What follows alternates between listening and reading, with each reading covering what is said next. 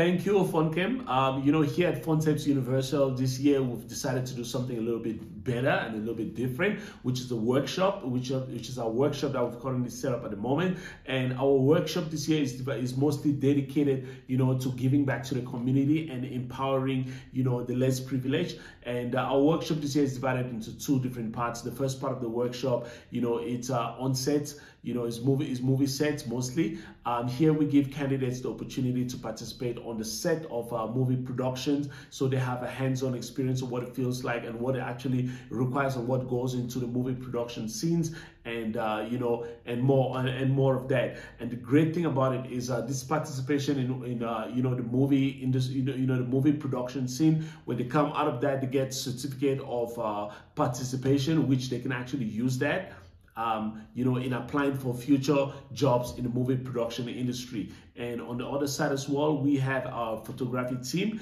where we send out photographers into the rural and into the indigenous areas. The most uh, the most important thing about that is we would like them to spend time with the kids. You know, they get to spend time with the kids. They get to watch movies with the kids, teach them how to use uh, you know cameras and other equipment, and basically inspire them as well when it comes to photography and more. You know, it's actually a workshop that is open for anybody all across South Africa. So if anybody would like to be part of this workshop, you know, from the movie sets to the photography, they can simply send us an email at uh, Universal at uh, yahoo.com or they can just get hold of us uh, through our social media platforms which is just at uh, Universal and uh, obviously we've been running this uh, we've been running this work workshop since from the 15th of December and it will be running up to the 15th of January 2023 thank you